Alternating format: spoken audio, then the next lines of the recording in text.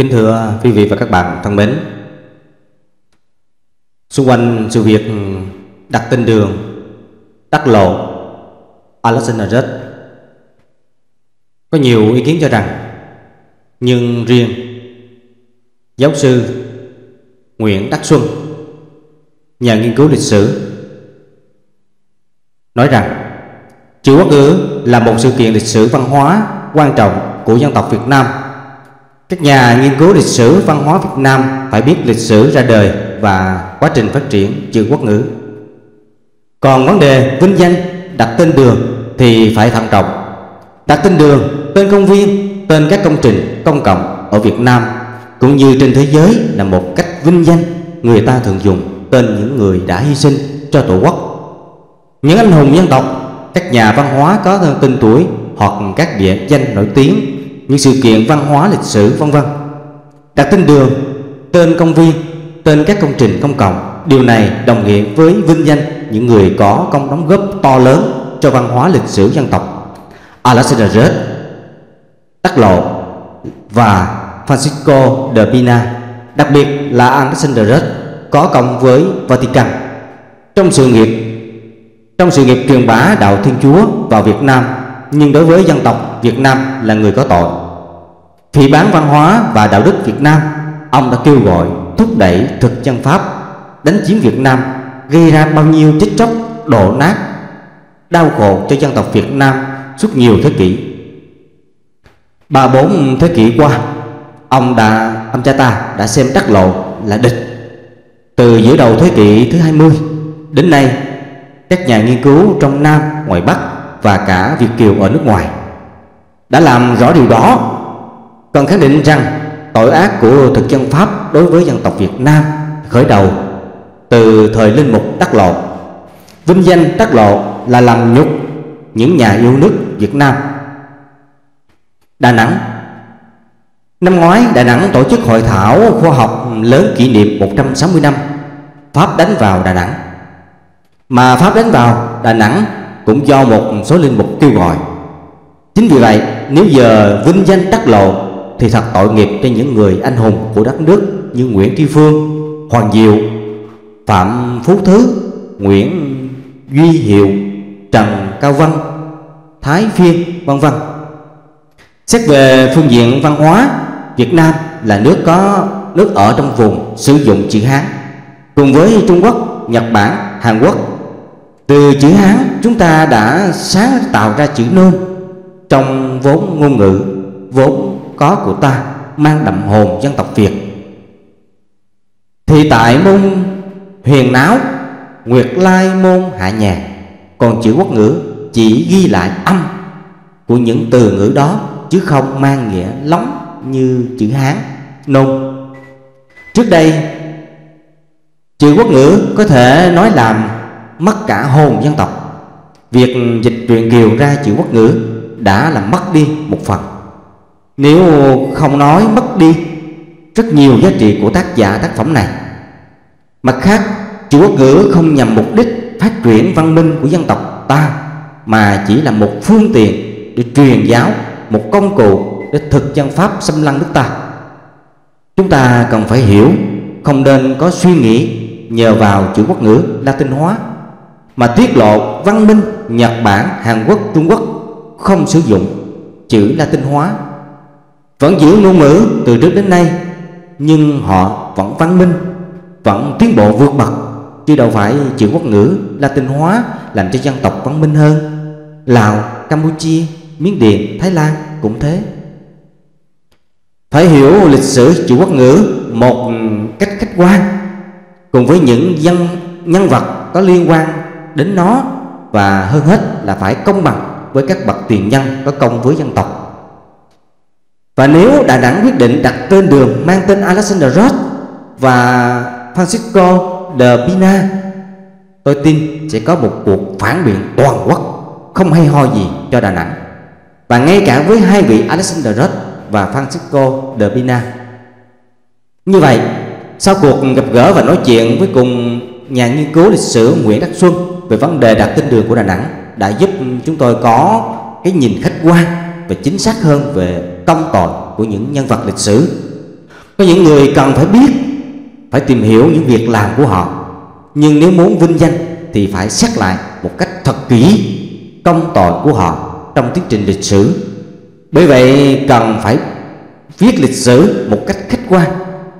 Bất cứ những vấn đề gì về lịch sử Mà viết theo quan điểm cá nhân Không khách quan thì không bao giờ tồn tại, Mà còn mang nợ cho tương lai. Thông qua việc này chúng tôi cũng hy vọng Đà Nẵng cần phải chậm lại Để nhìn nhận, xem xét kỹ lưỡng lại vấn đề này. Và đánh giá đúng đắn nhân vật lịch sử. Có như vậy mới có sự công bằng với hiện, với tiền nhân và sự đồng thuận của nhân dân.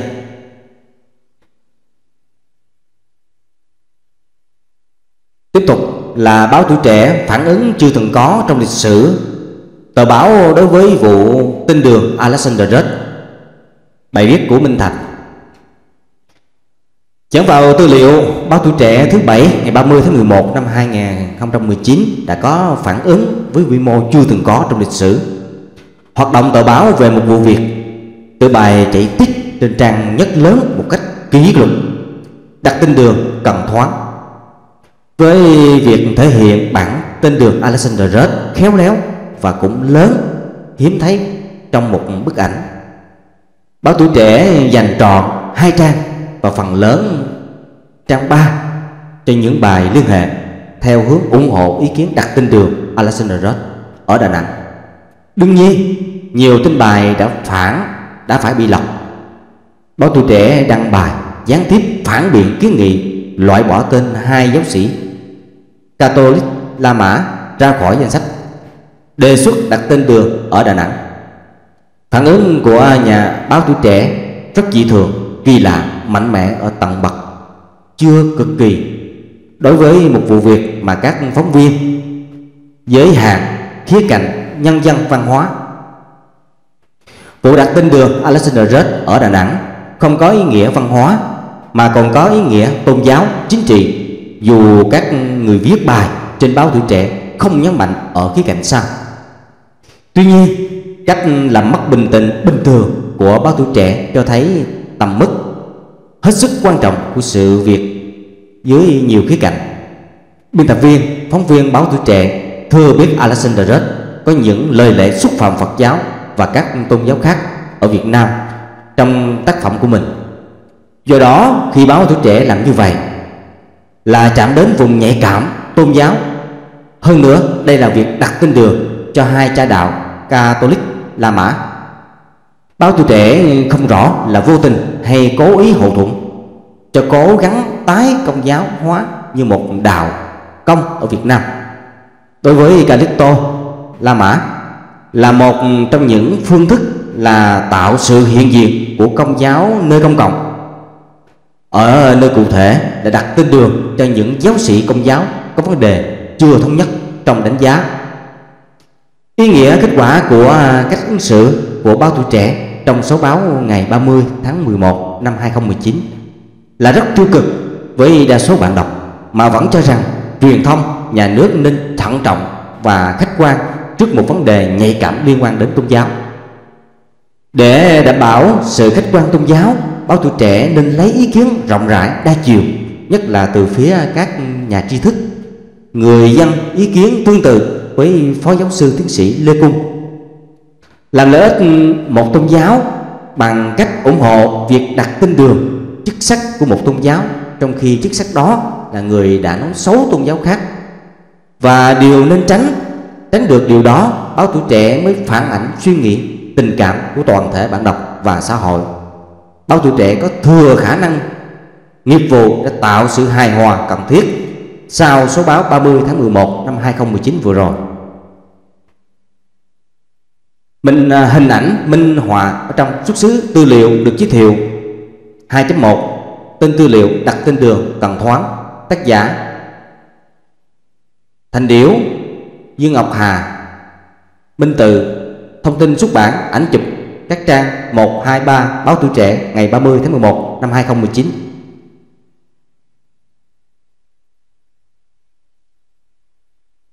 Tiếp theo là họ nói Rod có công khai sáng chữ quốc ngữ Ta bảo chứng minh. Thì họ làm thinh ta bảo chữ quốc ngữ thời của ông chẳng giống chữ quốc ngữ thời ngày nay. Họ tiếp tục làm thinh hồi đó lại là Rod có công truyền bá. Chữ quốc ngữ ta nói mãi đến hơn 200 năm sau pháp ra lệnh xài chữ quốc ngữ thì dân ta đành phải theo, theo lao để bệnh phong trào luôn. Họ không thể phản biện. Họ đổi giọng lần nữa, nói rằng rót đặt tên, đặt nền móng cho chữ quốc ngữ qua hai quyển sách ta bảo cuốn từ điển mang tên ông là cướp công của hai giáo sĩ trước. Và không ai xài từ điển đó ngoài giáo sĩ nước ngoài. Họ lờ đi. Ta bảo cuốn phép giảng 8 ngày là thứ vô văn hóa chửi, nói bậy cho tổ tiên mà đạo Phật từng là quốc giáo chia rẽ dân tộc. Họ giả vờ không nghe. Ta bảo rất có tội rất nặng với nước ta vì nó làm gián điệp, vẽ bản đồ và vận động pháp chiếm nước ta. Họ lờ đi như giả điếc. Bây giờ họ đăng báo tuổi trẻ thỉnh nguyện đội đặt tin đường cho thằng giặc rót và tuyên bố chỉ đề nghị và không tranh cãi. Những người ký thỉnh nguyện thư yêu cầu Đà Nẵng không lấy tên giáo sĩ gián điệp vô văn hóa. Để đặt tên đường thì bị gọi điện thoại chửi bới, đe dọa, khủng bố. Chắc chắn những kẻ đó không phải là người phật tử, vì phật tử không bao giờ đồng ý vinh danh một kẻ thoá mạ đức phật thích ca bằng lời lẽ côn đồ, hạ cấp như giáo sĩ đắc lộ. Vậy chúng là ai?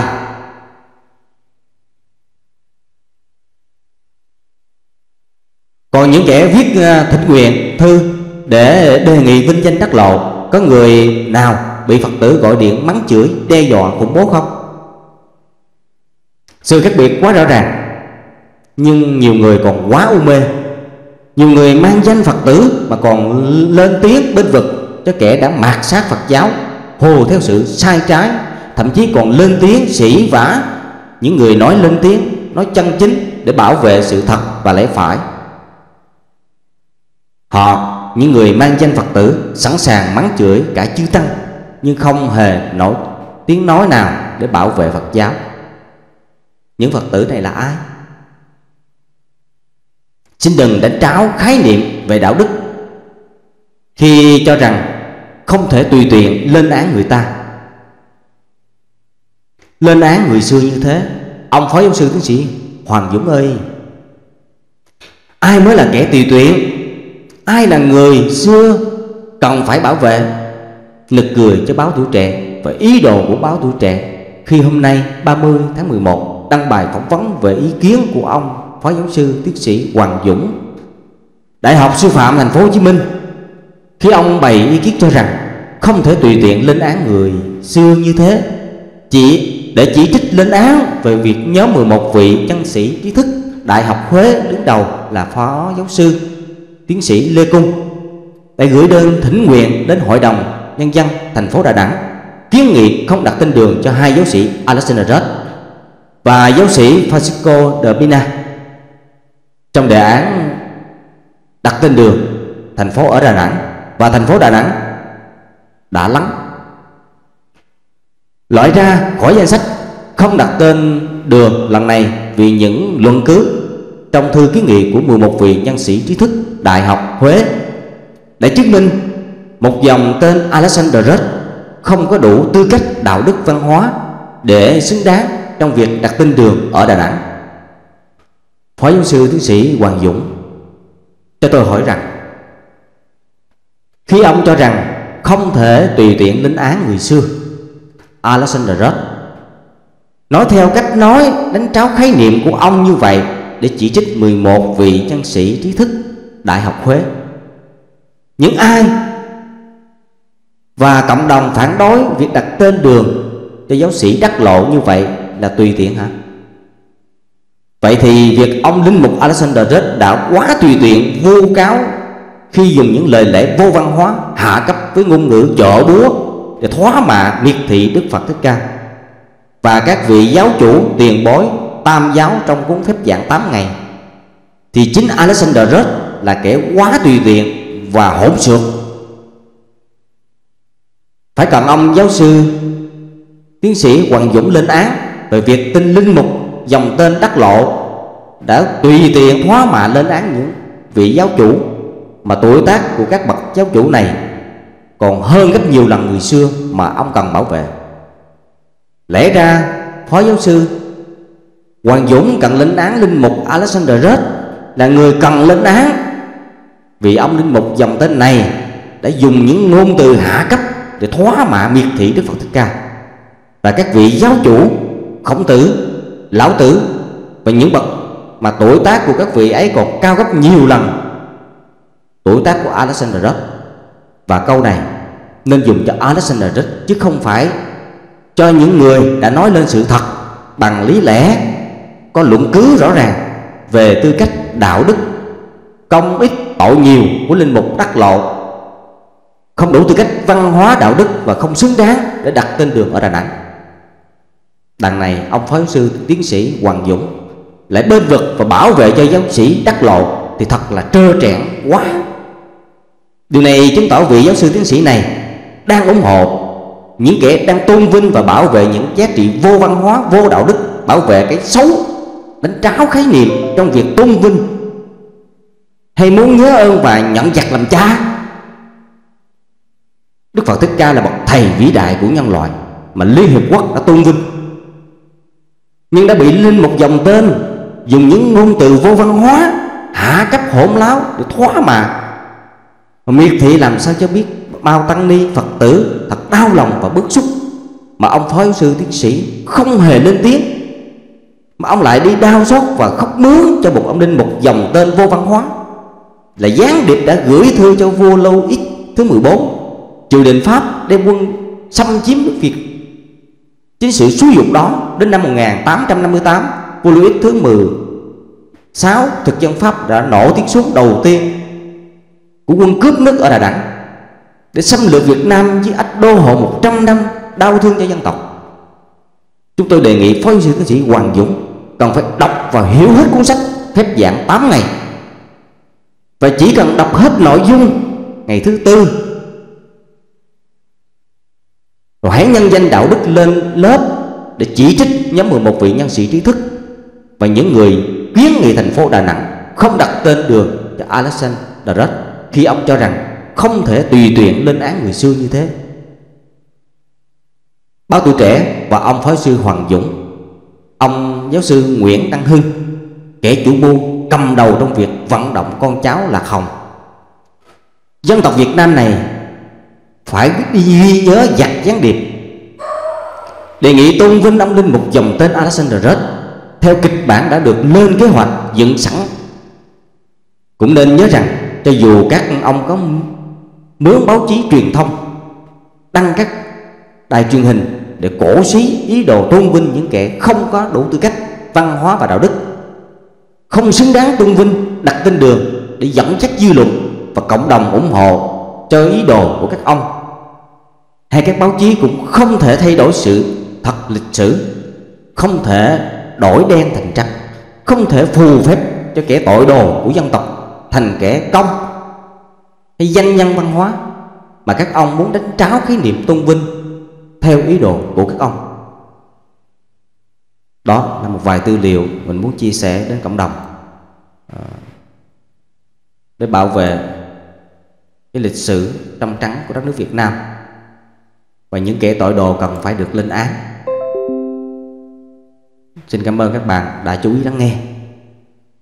Hẹn clip sau.